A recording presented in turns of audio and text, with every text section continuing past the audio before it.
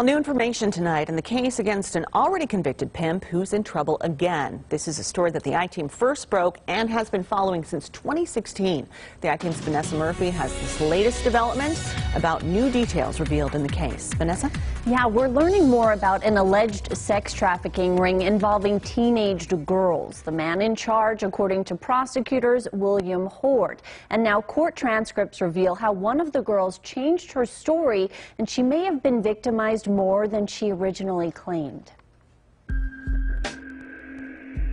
An underage teenage girl claims she had sex with six different people in one night on the Las Vegas Strip and in at least one Clark County man's home, earning her $700 after she split the money with her pimp. He's identified by police as William Hoard. Are you a pimp? Uh, no, I'm not a pimp. That was Hoard in 2016. 8 News Now interviewed him in jail after his arrest for sex trafficking teen girls from Green Valley High School. The truth is, I'm here for no reason, like for a lie. He later agreed to plead guilty to pandering or pimping, avoided prison time, and was given probation. Two years later, he was accused of pimping underage girls again after recruiting them on Snapchat.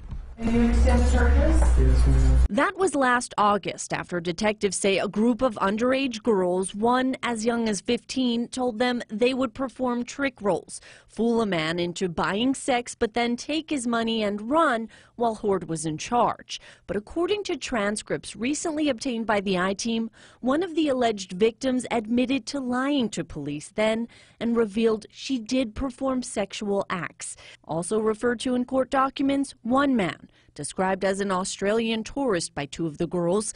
They say they met him at the Cosmopolitan. He agreed to pay $400 to take them up to his room, but they took his cash and ran.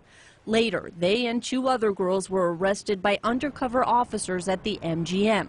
According to one of the girls, they obviously looked underage and it was 3 in the morning. Hoard's probation from his first case was revoked and again, the 25 year old man is facing life in prison if convicted of sex trafficking. The I team requested an interview with Hoard again while he's locked up at the Clark County Detention Center. This time he declined. The question will he claim police made up this case against him, too? It's just fabricated. I don't believe in it. So, you know, I'm positive that I'll be out soon, for real soon. Okay, so you're not sorry for anything.